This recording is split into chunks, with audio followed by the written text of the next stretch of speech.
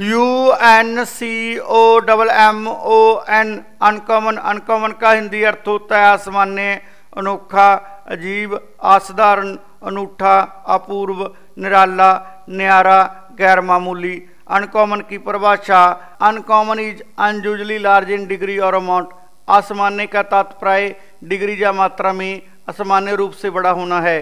दोस्तों, इस शब्द को सेंटेंस से हम और अच्छी तरह समझ लेते हैं। नंबर एक long periods of drought are uncommon in the region इस क्षेत्र में लंबे समय तक सूखा पड़ना असामान्य है। नंबर दो ही वाज अनकॉमन अफ्रेड वह सामान्य रूप से डरता था। दोस्तों, ऐसी और वीडियो देखने के लिए आप हमारे चैनल को लाइक शेयर और सब्सक्राइब ज़रूर करें।